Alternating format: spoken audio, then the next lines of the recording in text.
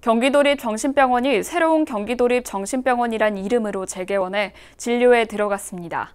24시간 응급치료와 함께 우리나라 최초로 정신건강 위기대응센터 역할을 해낼 것으로 보입니다. 구영슬 기자가 현장 취재했습니다. 정신응급 환자가 들것에 실려 위기대응 병동 안으로 들어옵니다. 자, 응급실 지원, 응급실 지원. 응급실에서 처치가 이뤄지고 안정을 되찾은 환자는 병동으로 이송돼 면담 시간을 갖습니다.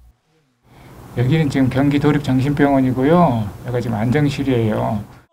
실제 상황을 방불케 하는 정신응급 환자 대응 훈련으로 새 이름을 내걸고 문을 연 새로운 경기 도립 정신병원에서 진행됐습니다.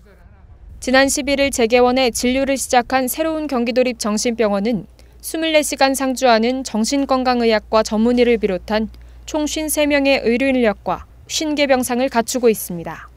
또한 급성 정신질환자에 대해선 집중 단기 치료 후 사회 복귀를 지원하는 우리나라 최초의 정신건강 위기 대응 센터 역할을 함께합니다.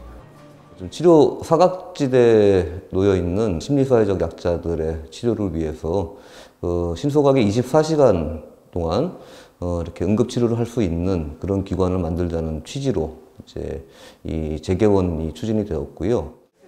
또 기존의 정신병원에서 관행적으로 이뤄졌던 격리나 강박과 같은 처치 대신 인권을 존중하는 입원 치료에 방점을 둔다는 구상입니다.